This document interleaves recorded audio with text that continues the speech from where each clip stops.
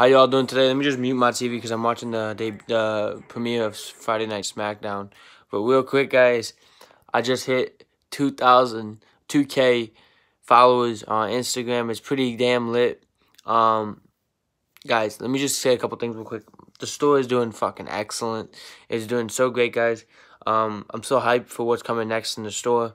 Um, here's what's going on right now. Watching uh, SmackDown on on Fox, guys.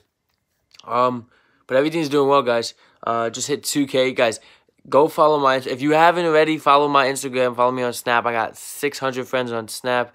I got 2K followers on Insta, guys. It's pretty lit. And my store channel, which I have on there too. I have a, I have a store account um to like put uh to show all my products.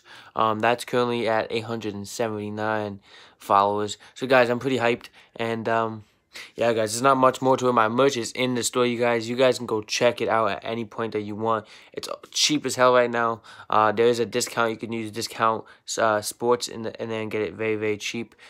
But the store is pretty lit, guys. But everything else is good, guys. I just wanted to do this quick video to guys let you know that I'm excited for hitting 2K on Instagram.